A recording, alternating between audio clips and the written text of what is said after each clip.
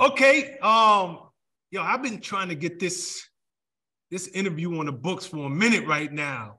You know, I'm excited to speak to this guy. I have danced to his music in a lot of clubs over the course of my life. Um, Atlanta's own, the King of Crunk. Please welcome one part of the East Side Boyz, my man Big Sam. Big Sam, what up? Man, y'all know what it is, man. It's your boy Big Sam, man, aka Gas Can Shorty, aka Bubba and Pudding Son, man. You know what I'm saying? We just get down like that, man. What's going on, Shawn? Um, yo, I'm good. I'm good. I'm good. Good to have you on the show, man. Yo, you you you gas can shorty. What what yes, the sir. hell is in that right now? Oh, got to make sure nobody around. You said what? Just a little, just a little drink.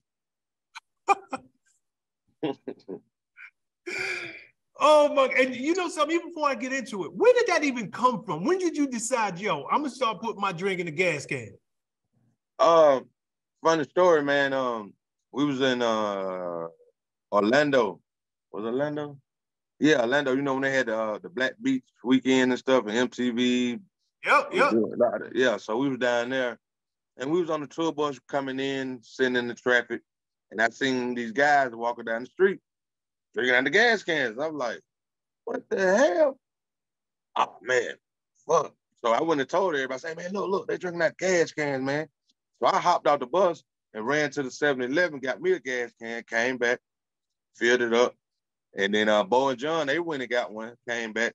So that whole weekend, we was drinking out the gas cans, but they left theirs. They didn't want to do it. So I just kept it going. You know what I'm saying?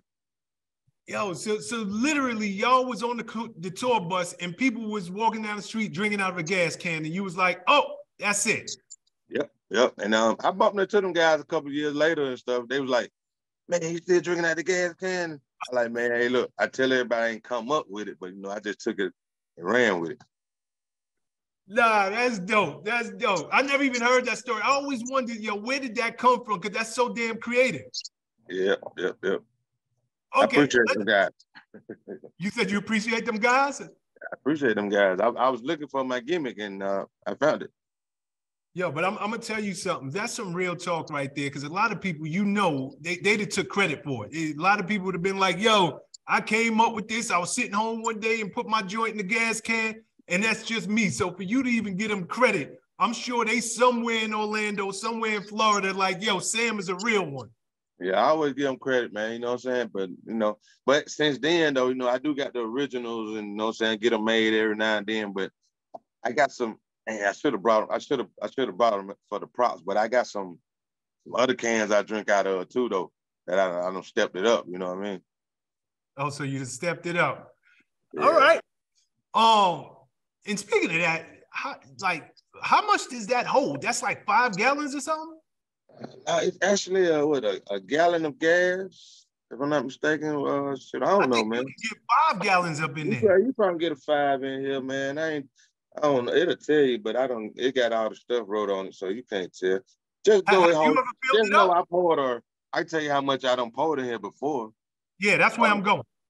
Okay, I poured a whole fifth of Hennessy in here with uh with the Crunk Energy drink and filled it up to about where the top of that east at.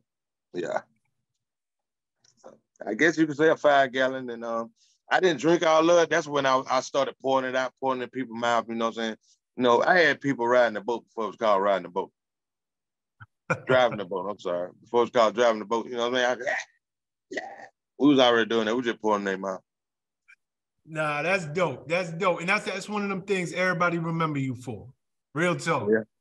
Yeah, Yo, man. Me, you know, you gotta have a gimmick in this game, man. You know what I'm saying? Like everybody don't know they everybody got a gimmick, whether you whether you um trying to have one or not, it may be the way your uh, rhyme cadence is, you know what I'm saying? Or it may be your ad libs, you know.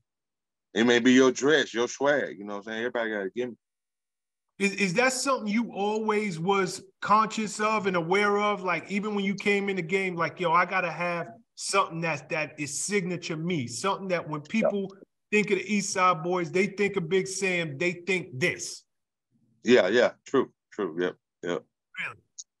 Yeah. I didn't want to do the pimp cup. Yeah, we had pimp cups and stuff. I'm like, that ain't my lane. That's more John lane. I need my own lane. You know what I'm saying? So this came about. Hey, I opened the lane up and ran down. What's up, guys? Thanks for sticking with me to the end of the video. Truly appreciate you. If you like anything you heard here today, go ahead and hit that subscribe button. And if you know anybody that can benefit from this message, feel free to share. Peace and love. Make every move a power move, and I'll catch you all on the next video.